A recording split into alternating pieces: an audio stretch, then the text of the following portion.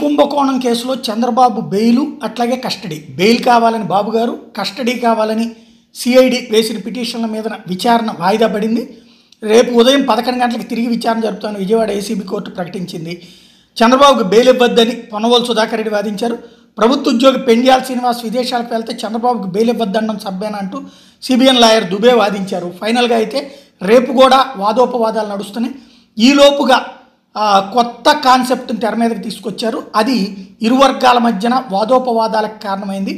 అదేంటంటే పదే పదే పొనవోలు సుధాకర్ రెడ్డి గురించి పొనవోలు సుధాకర్ రెడ్డి మాట్లాడుతూ ఉంటే నువ్వు అట్లాంటి ఆర్గ్యుమెంట్లు మానేసాయి అని చెప్పేసి జడ్జి గారు తన మీద అసహనం వ్యక్తం చేశారు జడ్జి గారు అంటూ తెలుగుదేశం అనుకూల మీడియా ప్రొజెక్ట్ చేసింది. ప్రభుత్వం నిర్వహించే స్కీముల్లో స్కాములు జరిగితే దానికి బాధ్యత హెచ్ఓడీలు తీసుకుంటారు? లేక ముఖ్యమంత్రి తీసుకుంటారంటూ ప్రభుత్వ న్యాయవాదులు ఏసీబీ కోర్టు న్యాయ ఇదే ఏసీబీ కోర్టు న్యాయమూర్తి సూటిగా ప్రశ్నించారు.